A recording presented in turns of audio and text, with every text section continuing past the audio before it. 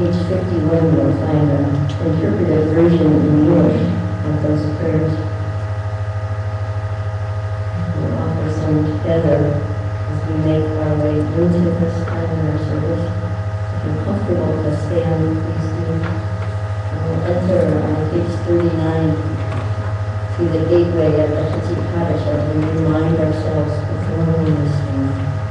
We'll stay together just for those two verses at the top of 41. And then we'll be on our own offer the prayers and weapons. להתקדש ולהתקדש שמי רבה. אלוהי מלכותי, ואמיתית מלכותי,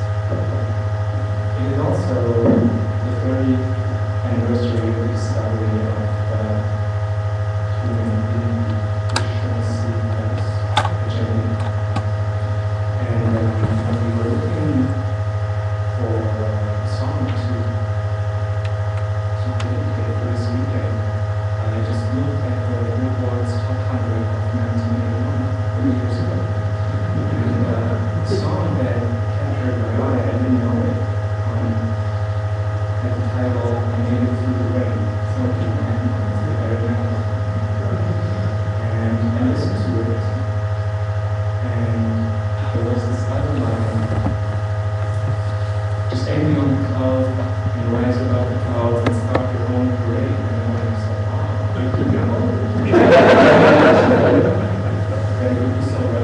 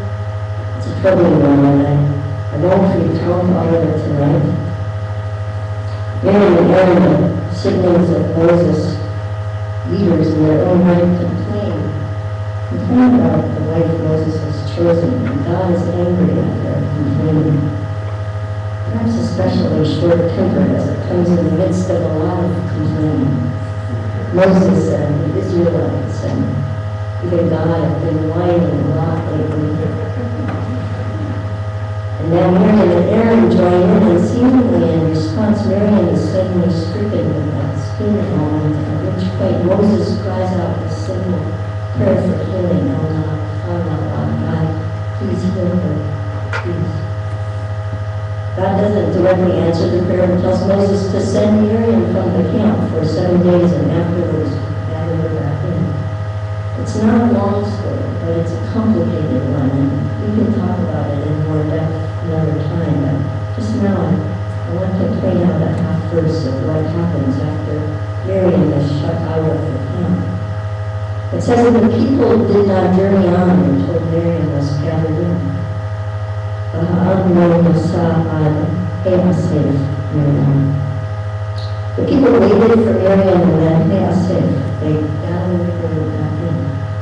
They didn't leave without her and wait for her to catch up. They didn't even just wait for her to come back. They gathered her. Ginger alluded to the fact that in a community when someone is celebrating 30 years cancer-free, there will also be someone just beginning a journey to healing. Just as with every anniversary celebration, there will be the new couple just starting out, or the ones divorcing.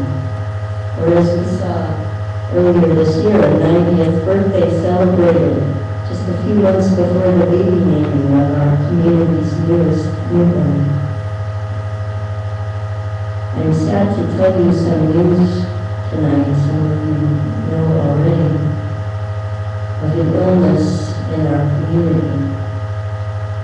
I talked to Steve Sass for a long time this afternoon. He and Steve Hochstad are together in Jerusalem. And Sass wanted us to pray for Steve Hochstad, and so I'm letting know in this very public way that Steve Hochstad suffered a stroke earlier this week in Jerusalem.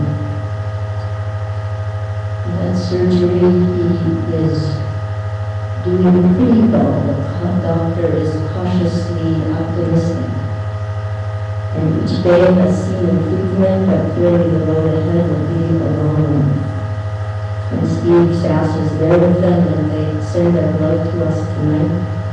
Very worried in that Steve Sass way about my presenting sad and scary news and Pride Shabbat, Ginger's celebration of health and last. We're not used to being the ones who need help, said Steve. Indeed, they are not, Steve and They've been blessed with so much of life, and they give so much to us all. But surely one of the messages of the healing prayer Moses offered and the response of the Israelites to Miriam's, Israelites to Miriam's ailment and removal from him is precisely that we are not here for one another only in good times, only at the celebrations. We are here to offer prayers of healing, and healing is what is needed. And isn't healing needed? We are here to be part of the support system when support system is needed. We did not build this beautiful building together just to see if we could. And we didn't build it just to party but we built it. We built this beautiful building together to live here together in community. And to be in community is not only to wait for each other when someone falls behind, but to gather one another in, to reach out a hand when a hand is needed, to be in comfort with each other through happy times and sad and all the ordinary times in between. What we sometimes long for just ordinary times. Moses prays for Miriam, and the people wait for Miriam. And when the time comes, they all gather Miriam back in. The Lord doesn't really tell us that God answered Moses' prayer and brought Miriam and brought Miriam back to health. Some think that the ailment had merely ran its course and she recovered. And others note that it doesn't even really say her ailment went away, only that she was gathered back in. Perhaps Moses prays for healing because like so many of us, he feels it is something he can do, something he can offer in the face of something that feels so beyond his ability to fix. Whether we feel our prayers are answered or not, look at us. We continue to pray. Perhaps a prayer for healing is, at the very least, a reminder to ourselves of our love for the one who is ill, of appreciation for life. Perhaps it is a prayer of longing for an easier time, for life to be easier. And it is a reminder to ourselves and God that we want to be, that we choose to be in relationship with God and with the one for whom we pray. It is a reminder that this is what we choose to in community, this is what we do. By offering prayers for healing, we gather in, as millions gather in. We gather in the people who are ill and their loved ones. We make sure they are not forgotten. We say their names out loud in order to say, you are not forgotten. You are still and always a part of our community, no matter where you are and how you are. And these prayers remind us who are not ill at this moment. Don't forget the ones who are in need of healing. Tonight on Pride Shabbat, on this Shabbat, in celebration of healing and wellness, we remember our purpose in becoming a community as we offer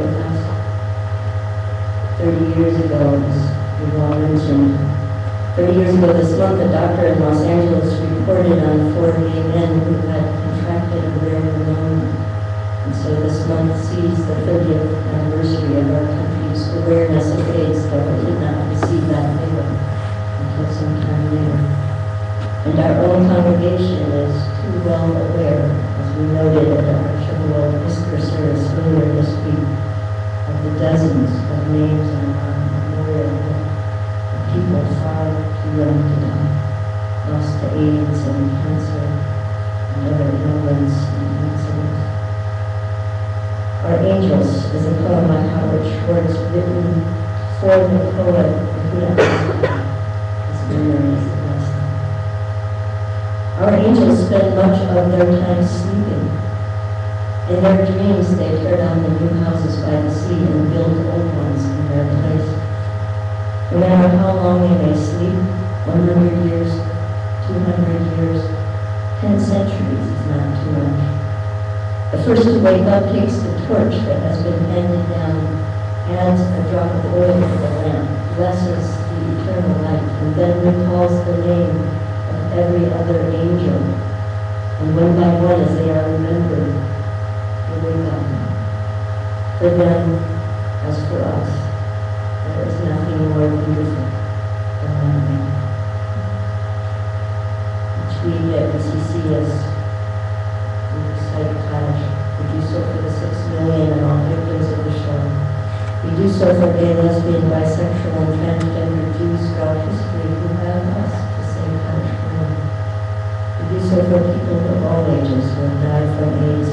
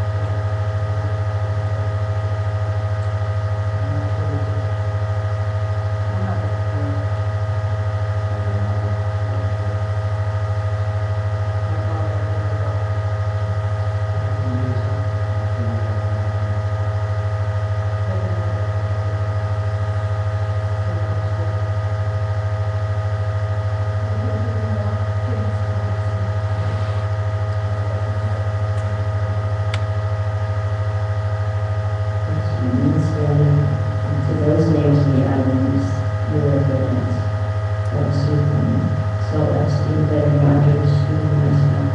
So the perjurer was myself when it was upon myself. The murder of the freedom of the man, of the dog, and of the free wilderness, and the path of the children, the my